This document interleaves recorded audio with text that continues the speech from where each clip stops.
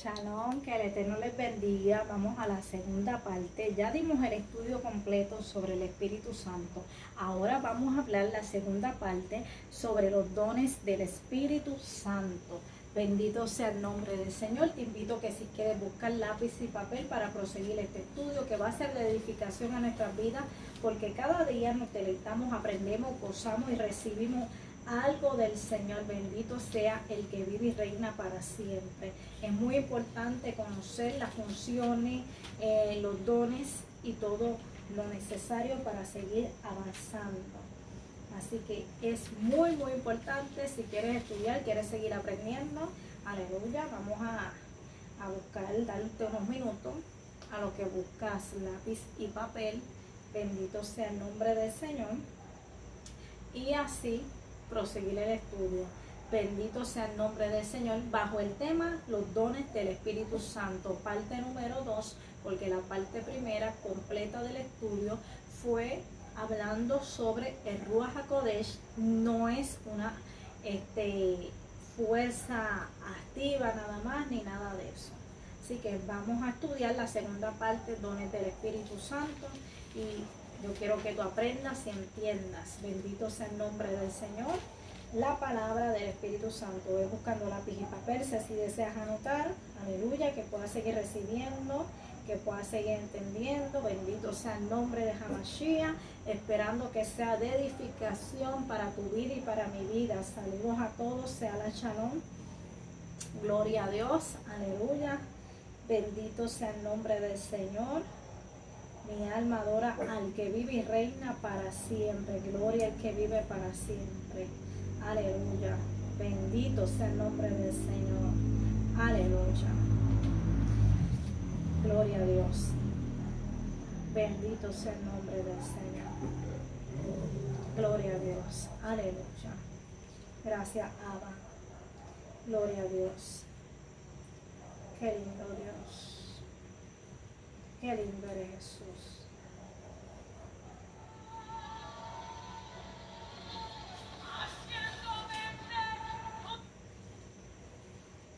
Aleluya.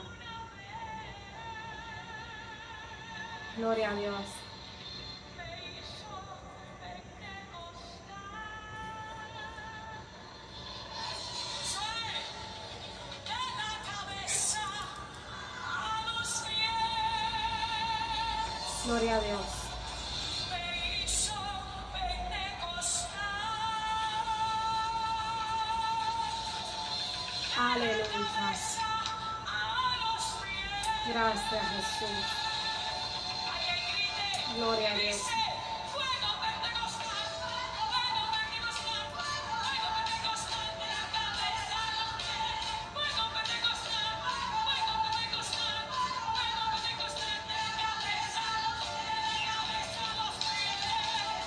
Gloria a Dios.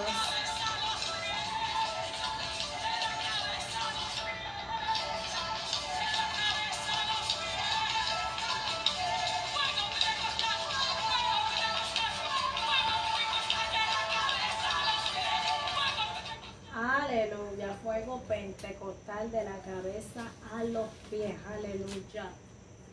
Vamos a estudiar los dones del Espíritu Santo. Bendito sea el nombre de Yeshua HaMashiach. Espero que ya estés listo. Cuando veas este video puedas entender, que puedas recibir algo. ¿Verdad? Siempre se, se entiende, se le da guito, un tiempo, para que con calma, bendito Dios, la persona siempre reciba algo. Y si no, vuelve y ve el video, estudialo con calma, porque yo sé que algo vamos a adquirir. En el libro de Gálatas, Gálatas, Gálatas, busque Gálatas capítulo 3.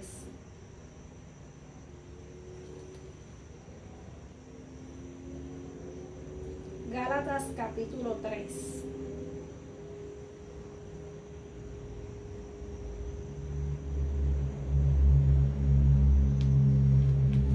Capítulo 3 habla del Espíritu que se recibe por fe. Y doy lectura. Oh Gálatas insensatos, ¿quién os fascinó para no obedecer la verdad vosotros, cuyos ojos Jesucristo fue ya presentado claramente entre vosotros como crucificado? Eso lo quiero saber de vosotros. ¿Recibiste el Espíritu por obras o por la ley o por el oír con fe? Con fe. Tan necios sois que habiendo comenzado el Espíritu, ahora veis acabar en la carne. Tantas cosas que habéis padecido en vano, si es que realmente fue en vano. Aquel pues que suministra el Espíritu hace maravillas en vosotros, lo hace por las obras o por el oír con fe. Bendito sea el nombre del Señor. Claramente, ahí lo está llamando necio, lo está llamando brutos, claramente y usted dirá, wow, pero qué insulto, qué fuerte esa palabra. Puede ser fuerte que usted la note, pero le trae un despertar a la gente. Hay mucha gente en este tiempo que vive en necedad y esa palabra fue para que el tiempo y para este tiempo actuar, aleluya, aunque se le a la iglesia de Gálatas claramente. ¿Por qué? Porque así es que representa la iglesia actualidad. Muchos comenzaron en el espíritu y como han terminado hoy mundano, mundano. Bueno, yo estaba viendo una congregación que tenía el nombre de la iglesia y la foto parecía una mujer, este, era una mujer, mejor dicho, no parecía, era una mujer así como parecía un tipo modelo y la iglesia se llamaba la iglesia revolucionaria. Yo me quedo asombrada de cómo hasta lo que hemos llevado hoy en día y totalmente cómo se ha perdido el respeto. No es que uno idolatre el templo, pero como yo digo, si nuestra casa donde vivimos físicamente la cuidamos, no permitimos que cualquiera venga a la desorden, la casa del Señor tiene que haber un respeto, tiene que haber un orden. Y hoy en día hay tanta, pero tanta iniquidad. Y usted se cree este, que el Señor se agrada, que el Señor se agrada de todas esas cosas, pero la gente quiere vivir conforme le da la gana y eso es lamentablemente. Eso es lo que se está viendo. Esto es lo que se está viendo, que la gente quiere vivir como les da la gana. Hay muchos predicadores que en la actualidad hablan de los dones del Espíritu Santo como cosa del pasado, como cosa obsoleta, pero es una falsedad, porque los obsoletos han sido ellos. Dones del Espíritu Santo. Cuando vamos a la palabra en Primera de Corintios capítulo 12, voy a hablar de los dones espirituales, por tanto quiero darle lectura con toda reverencia a la bendición del Padre y Espíritu Santo. No quiero, hermano, que ignores acerca de los dones espirituales. Ahí hay un punto claramente.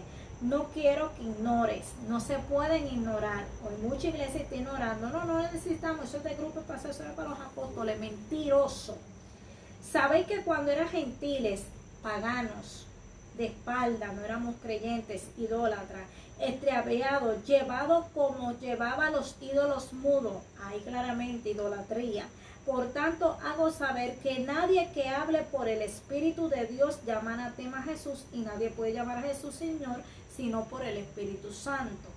Y a lo mejor usted dirá, pero hay gente que dice Señor Jesús, pero no es que lo tiene de corazón. Por otra parte, la gente que hacen paradas y usan a Jesús como que tenía relaciones con Juan y todas esas cosas, que era su amante. ¿Usted se cree que eso no es cosa abominable? Eso no viene del Espíritu Santo, eso viene de un espíritu demoníaco a las tinieblas.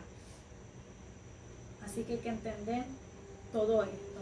Ahora bien, hay diversidad de dones. Verso 4. Estamos en 1 Corintios capítulo 12, verso 4. Ahora bien, hay diversidad de dones. Quiere decir que hay varios, son nueve. Ahora bien, hay diversidad de dones, pero el espíritu es el mismo. ¿Cuál espíritu? El espíritu de Dios, Rúa Akodesh, el espíritu de Elohim, el espíritu de verdad. Hay diversidad de ministerios, pero el Señor es el mismo. Hay diversidad de operaciones, pero Dios hace todas las cosas en todo lo mismo. Pero cada uno le es dada la manifestación del Espíritu Santo para provecho cada uno ha recibido para provecho.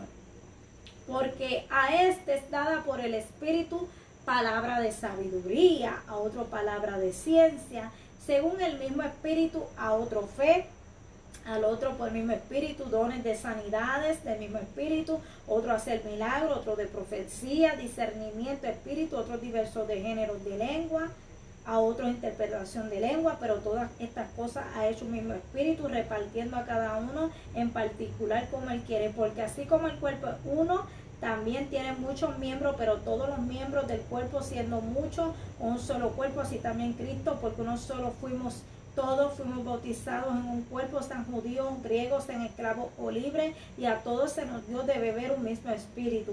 Además, el cuerpo no es un miembro, sino muchos.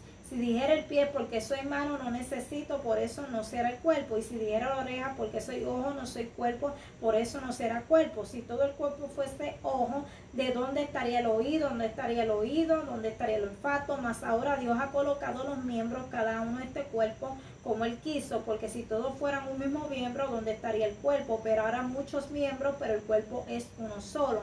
Y el ojo puede decir a la mano, no te necesito, ni tampoco la cabeza, los pies, no tengo necesidad de vosotros. Antes bien, los miembros del cuerpo que parecen más débiles son los más necesarios, aquellos cuerpos que menos son dignos, a estos son los que vestimos más dignamente. Los que nosotros menos decoramos se tratan con decoro, porque nosotros somos más decorosos, no tiene necesidad, pero Dios ordenó el cuerpo dando más abundar el honor a lo que faltaba para que haya desvaneciencia en el cuerpo, sino que los miembros todos se preocupen los unos por los otros, de manera que si un miembro padece, todos los miembros se duelen con él, y si un miembro recibe honra, todos los miembros con él se gozan. Claramente vemos en las Sagradas Escrituras, y cuando hablamos del cuerpo, yo voy a poner este ejemplo. Yo tengo mis manos, cinco dedos. He conocido gente de seis dedos, pero este, tengo cinco dedos. Cada uno tiene una función, porque somos el cuerpo de Cristo. En la iglesia no vas a decir, no, el pastor es el, el, líder, es el, no, el hermano, la hermana, que si Pepe, que si Pancha, que si Lola, que si Carmen, que si María, todos tienen una función. Todo. Hay mucho pueblo que es idólatra del hombre, y usted va que las congregaciones se llenan de mucha gente que se viste y quiere seguir a Cristo y otros van, ¿verdad? Con buena intención de buscar al Señor o, qué sé yo, para no estar aburrido en la casa. Hay diferentes personas porque en, el Evangelio, en las congregaciones hay mucha gente, hay gente que, que, que van para ver, para criticar, para bochinchar, para buscar novia, otros para buscar realmente al Señor, otros para hacer maldad y tirar trabajo, hasta brujas se infiltran en los templos, por eso hace falta el don de discernimiento. Cuando hablamos de los dones del Espíritu Santo, claramente, primera de Corintios, capítulo 12, dimos lectura y el primer punto que pone como toque que no se ignore no ignoréis, hermanos, qué está pasando hoy en día. No, eso es el pastor nada más que puede profetizar. No es el único que pone las manos, es que Dios lo usa sanando. No es el único que habla lengua, es el pastor. No, el pastor esto. Y las hermanos viven en una vida dependiendo del pastor. Por eso cuando vino todos y todas las cosas que vendrán, todas estas pestes, muchas personas por estar contando con el líder porque no tenían una relación, sino, no, yo voy al templo para que el pastor me vea. No, porque yo oro cuando voy más que nada más para el templo, espero el domingo nada más. Y usted come arroz, usted come habichuela, usted come un día nada más. Come un día nada más y téngase todos los días ayunando. A ver, porque mire que la gente le gusta comer y dependen del pastor, del pastor. Si el pastor abre la Biblia, yo la voy a abrir. Tenemos que aprender a tener una relación con el Señor. Y eso es lo que nos va a ayudar a crecer. Y eso lo aplicamos toditos. Entonces, el primer punto es que dice que no ignoremos. Ah, pero es que mi pastor dice que eso es de los tiempos de antes, porque el pastor que usted tiene es una momia predicando. Ay, hermana, no falte respeto, que no se meta con el ungido de Jehová. El ungido de Jehová vive consagrado. Y yo puedo decir que el ungido de Jehová, el ungido, el ungido, busque las sagradas escrituras Bendito sea el nombre del Señor. Y con eso yo no estoy diciendo que faltemos respeto a los pastores, se respeta el pastor y a la pastora, el evangelista. Pero mucha gente lo que tiene idolatría. Sí, el pastor todo lo que dice es amén, aunque esté mal. Aunque esté mal. Sí, todo lo que dice es amén. Todo, sí, sí, sí. Sí, sí, sí. Todo es sí, sí, sí. Entonces no podemos. Pero cuando Jesús te dice algo por medio del Espíritu Santo, no, no, no. Ah, pero si el pastor lo dice, amén, amén, amén. Así estamos. Y la hipocresía más grande, que a veces el pastor no le hacen caso y viene un evangelista afuera y lo mismo que dijo el pastor lo dio el evangelista y que hace la persona, gloria a Dios, aleluya, gloria y un desorden. Y no es que es malo adorar, pero empieza todo el mundo a gritar y gritar y wow, y esto, y hasta corren y, y, y todo eso, y alaban que se quieren comer. Este, y cuando el pastor predica, y fue lo mismo. Eso es para que usted vea. Vamos a entrar al estudio los dones del, Espíritu Santo y Primera de Corintios habla claramente de los dones, las manifestaciones. Realmente un don que tipifica, representa y significa un regalo. Es un regalo no merecido y es otorgado por medio del Espíritu Santo. Eso es los dones. No podemos ignorarlo. No podemos ignorarlo. Ese es un punto muy importante. Cuando hablamos de los dones, empieza con los dones de habla. Vamos a empezar con don de habla. Está el de lenguas, interpretación y don de profecía. Esos son los dones de habla. Lenguas, interpretación y profecía. Cuando hablamos de revelación, dones de revelación, porque cuando hablamos de la revelación es la palabra del Señor nada más, pero cuando hablamos de este don de mostrar, hablamos de la palabra don de ciencia, palabra de ciencia, don de discernimiento y palabra de conocimiento. Cuando hablamos dones de fe, de sanidades y milagros es muy importante.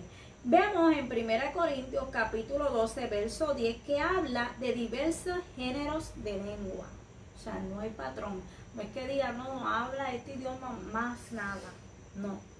Cuando vamos y estudiamos la Sagrada Escritura, tanto 1 Corintios 12, 10, 13, 1, este, los ángeles, hablando de los malas de los ángeles, los ángeles tienen varios idiomas de lenguas angelicales en el cielo. Tienen varios y si son varios es plural. Lenguas angélicas. Lenguas angélicas y son celestiales. Cuando hablamos del don de lengua, Primera de Corintios capítulo 14, verso 2, usted lo estudia. Cuando hablamos en lenguas, se habla también para Dios directamente pero Dios entiende claramente el idioma porque va dirigido a Dios directamente. En una iglesia,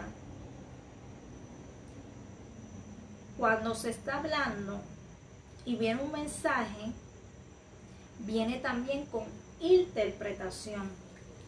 Cuando se está orando, también se puede orar y gemir en lengua por medio del Espíritu Santo por medio del Espíritu Santo. Se clama también en lengua. Primera de Corintios capítulo 14, verso 5, estudie. Pablo quería que todos hablasen en lengua profetizada.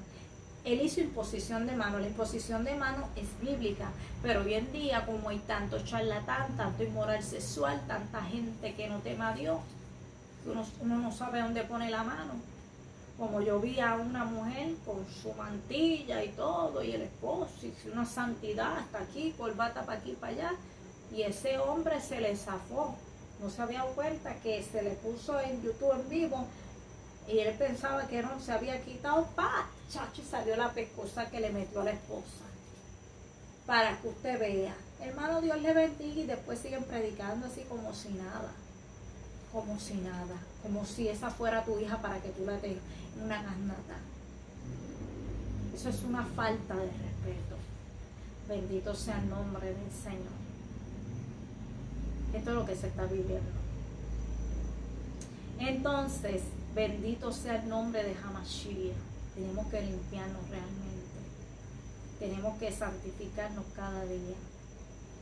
Nosotros estamos acostumbrados en la iglesia evangélica o pentecostales ver este mover de los dones del Espíritu Santo. Porque muchas iglesias todavía, muchos templos, porque la iglesia es uno, todavía muchos pueblos se santifican, pero hay otros que no, que ni le importa. Lamentablemente. Pablo anhelaba que todos recibieran. Pablo lo anhelaba. Hay gente que habla mucha palabra, pero no practica. Y ahí es un error. ¿En qué practicar? No es que va a practicar la lengua que va a hablar, sino que pone en práctica la palabra del Señor. Pone en práctica para edificación. Se fortalece el creyente en Dios y se estudia la palabra. Primera de Corintios capítulo 14, verso 39. El don de profecía y el don de lenguas, todo decentemente, ordenadamente y con prudencia en orden, se puede hacer. Los falsos apóstoles de reencuentros y de tantos encuentros, de las borracheras, del ciclo vómito, de toda esta barbaridad engañosa que está promoviendo, ellos hacen, repite conmigo, ru, ru, ru, ru, ra, ra, ra, ra, pa, pa, pa. Y la gente piensa, y sí, sí, recibe, y piensan que recibieron el Espíritu Santo. Usted está haciendo lo que ese payaso le está diciendo que usted siga. Eso no es el Espíritu Santo, eso no es hablarle en lengua. Usted está repitiendo un disparate que le está diciendo. Y esos son ruidos. Esos son payaserías y ridiculeces. Esos son trabalenguas. El movimiento católico que se ha movido desde el 1980 muy activo, el ese movimiento carismático y todo este movimiento G2 y todo esto para atraer las personas que vuelvan al catolicismo porque el catolicismo ha sido bien desenmascarado por todas las aberraciones, las inmoralidades, la idolatría, el paganismo. Bueno, no hay nada oculto y todas las cosas que han salido y muchas cosas que aún todavía no han salido, pero se saben, este, porque el Señor, por medio de su Espíritu Santo, muestra a su siervo y también porque todo lo que se manifiesta es que no hay nada oculto. Bendito sea el nombre del Señor y se nota aún los, diseños, el paganismo, todo lo que se promueve. Todo esto hay que estudiarlo, todo esto. Y hay que tener mucho cuidado. Todas las cosas que se está viendo, todas las cosas que se están imitando, imitando y que habla lengua, Dios no comparte su gloria con nadie. Cuando decimos esto, si Él nos ha dado los dones del Espíritu Santo. Pero cuando estamos hablando que Dios no comparte su gloria con nadie, específicamente lo que referimos es que esos falsos burladores se creen que son dioses. Ellos se hacen su propio Dios, sus propias sectas, sus propios engaños. Por eso ellos, ellos ordenan, ellos dicen yo ordeno y le dicen Espíritu Santo vas a hacer esto.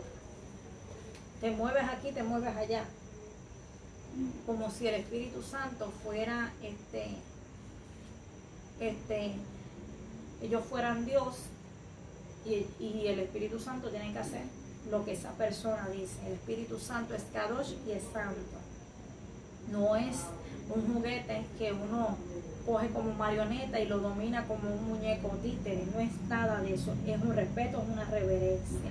Así que hay que tener mucho cuidado con todo esto que se está moviendo los insultos a Dios, todo lo que se mueve, mucha mentira, mucha lengua, engaño, lenguas que no pertenecen a Dios, se las atribuyen a Dios, danza, todas estas cosas. Los ángeles, para los ángeles del Señor, pero los demonios son ángeles caídos y son imitadores. Ellos hacen este brusto, sonido horrible y todas estas cosas. Todo esto es lo que se promueve. Entonces, los dones del Espíritu Santo son agradables a Dios. Son agradables a Dios. ¿Y para qué sirven? Los dones sirven para edificación, para devocionar, edificar. El que ora en lenguas, el don de lenguas, interpretación y edificación. Bendito sea el nombre del Señor. Cuando hablamos del don de lengua en la iglesia, el don de lengua en la iglesia sirve para edificación, para hablar un mensaje que no es un ruido, que no es ru, ru, ru, ni nada de esto. Es una función en el templo. Tiene que haber amor sobre todas las cosas, porque si tenemos dones y no tenemos amor, estamos perdidos. El don de lengua, interpretación. Usted estudie Primera de Corintios, estudie las lenguas, la interpretación, la interpretación. Claramente la palabra lo dice interpretar el mensaje, interpretar el mensaje, se profetiza el don de profecía, los dones espirituales, no es para negociar, no es para menospreciar al hermano, si usted tiene cinco y decir, ay, tú tienes cinco, yo tengo uno, este, ay, yo soy ahora, no, eso Dios no le agrada, eso él golpea la parte de atrás y arrogancia y Dios no mira al altivo, por más dones que usted tenga. Pídalo todos, son nueve, este, una persona que, es carnal, es un problema, pero hacen falta pilares y es mejor que, que tengan nueve dones porque van a ser pilares para la congregación y van a ayudar más. Procurar la, el hablar en lenguas, el profetizar, recibir interpretación cuando puedan hablar lenguas.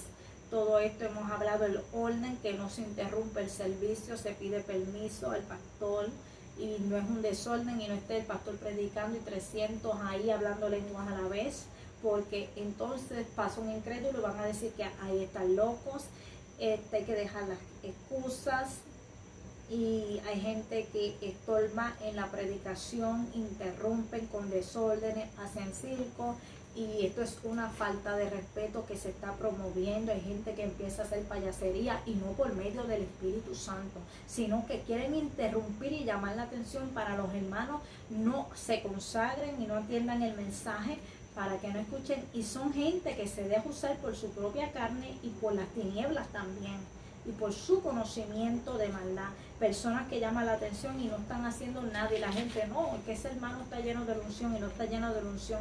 Personas con desorden, interrumpir el mensaje, eso es una falta de respeto porque está interrumpiendo lo que el Señor quiere hablar para esa congregación y Dios es ordenado, Dios no es un Dios de, confusión. Este, el incrédulo pasa y va a decir, no, esos son unos locos. Así que es muy importante estudiar 1 Corintios capítulo 12. Ahí usted estudie los dones del Espíritu Santo. El don de interpretación no es que usted agarre un diccionario, el hermano está hablando de lengua y usted, déjame buscar. Eso no es así. El don de interpretación, el mismo Espíritu Santo, es el que te da la interpretación para poder entender el mensaje. Y si usted no tiene el don, otro hermano lo va a tener y lo va a dar. Pero es necesario. Es necesario. No, no es algo desordenado. El don, los dones del Espíritu Santo, ayudan a edificación, capacitación por medio del Espíritu Santo y es un agro somodo, la captura, lo que dice Dios, el objetivo del mensaje, la comprensión de todo lo que Dios dice. El intérprete es una obra de capacitación, de transmitir milagroso. El Espíritu Santo me capacita a saber lo que dice algo milagroso. Y en Hechos, capítulo 2, descendió cuando usted ve que estaban todos allí sentaditos, allí descendió. Isaías aún lo profetizó y se cumplió. Hebreos capítulo 1, estudielo. También en la antigüedad habló por los profetas, en el nuevo pacto por el Hijo y los apóstoles bíblicos verdaderos y únicos. La profecía no necesita al profeta para que se cumpla la palabra. No necesita el profeta vivo para que se cumpla la palabra, para que tenga valor en el cielo y en la tierra.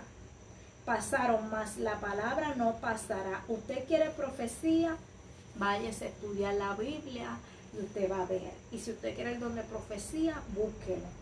Y si usted quiere los nueve dones, búsquelo y pídalo al Señor. Búsquelo y conságrese en ayuno, en oración, en campaña, en vigilia, en humillación, lo que quiera usted hacer. Cabanón, lo que usted vaya a hacer. Efesios capítulo 2, verso 20, estúdielo.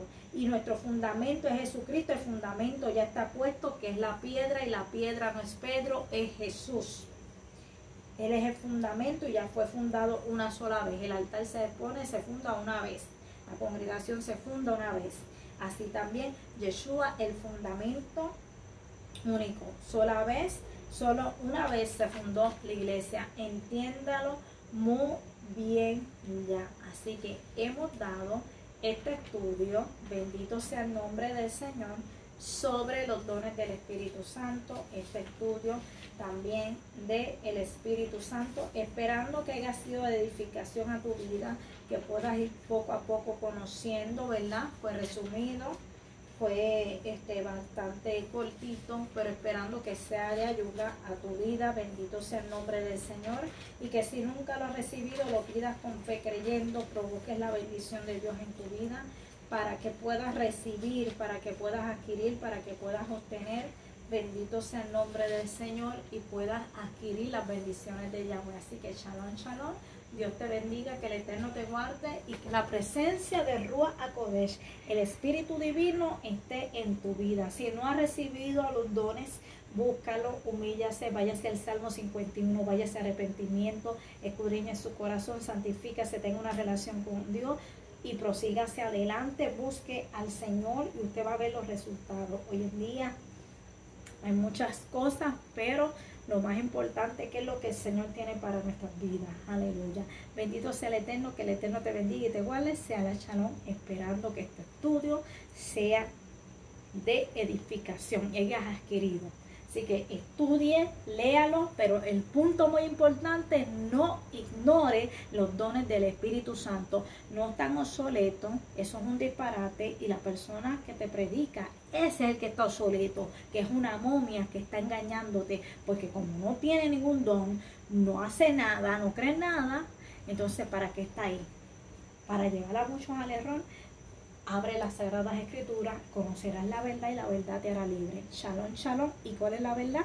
La palabra de nuestro amado Yeshua HaMashiach. Y los dones del Espíritu Santo son para edificación del cuerpo de Cristo. Todos, todos, todos tenemos una función. Aquí nadie es grande. El único grande es nuestro Elohim, nuestro Creador, no nosotros. Shalom, shalom. Aleluya.